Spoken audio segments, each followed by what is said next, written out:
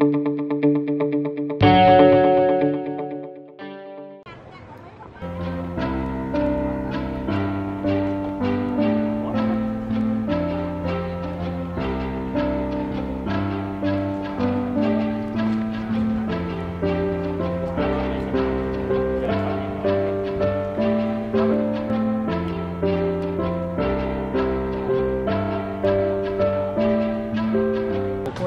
điều phối người người dân do hướng dẫn việc trở tim và và dặn người dân là phải do ngồi giãn cách xa ra 2 mét và cái và lúc, lúc mà người dân đi di chuyển về chỗ tim á, thì người dân là phải đi theo hàng lối đừng ngồi sát nhau quá đừng dính vô nhau quá.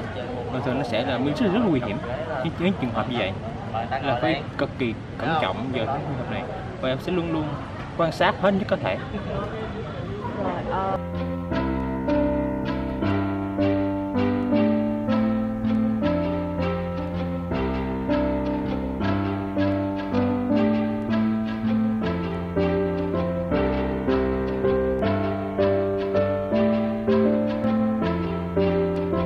ngày đầu á, thì ở bên địa điểm Lưu Bình thì mẹ em cũng vô là được cũng được mấy anh chị hỗ trợ.